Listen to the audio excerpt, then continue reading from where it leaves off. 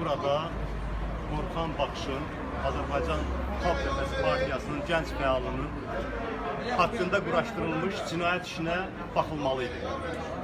Orxanın dostları, ailə üzvləri, anası gəlib ki, məhkəmədə iştirak eləsin.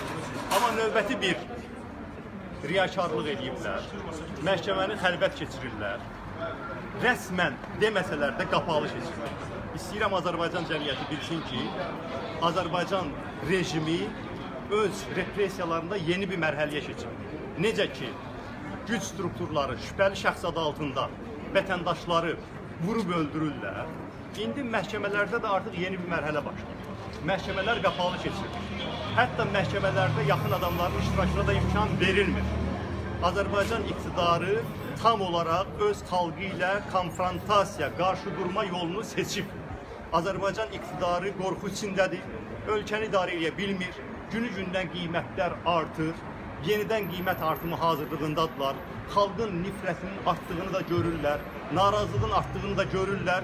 Ona proporsional olaraq repressiyanı gücləndirirlər.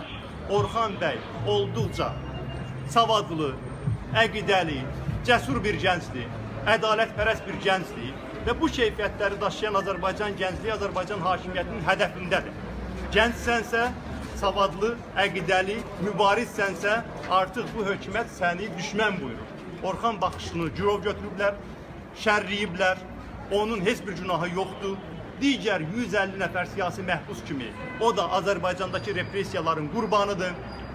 Buradan Azərbaycan iqtidarına üz tutub demək istəyirəm ki, ölkəni idarə eləyə bilmirsiniz.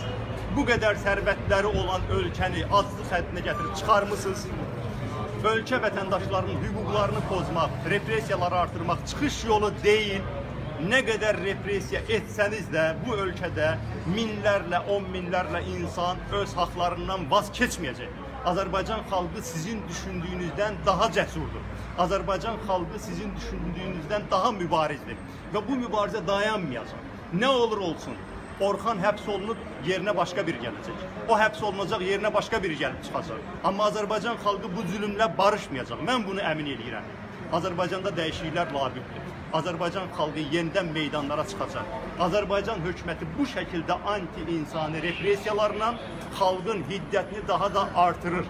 Ona görə də səslənirəm hakimiyyətə, Azərbaycan xalqı ilə qarşıdurma siyasətindən imtina eləyir. Bu işdən zərərlə çıxan ilk növbədə özünüz olarsınız. Azərbaycan xalqını bu qədər sıxışdırmağa ehtiyac yoxdur. Azərbaycan xalqı nə istəyir? Normal insan kimi yaşamaq, oxumaq, müalicə olunmaq, işləmək, ailəsini saxlamaq. Bu ən elementar insani tələblərdir və bu tələbləri alana qədər Azərbaycan xalqının mübarizəsi davam edəcək. Sağ olun.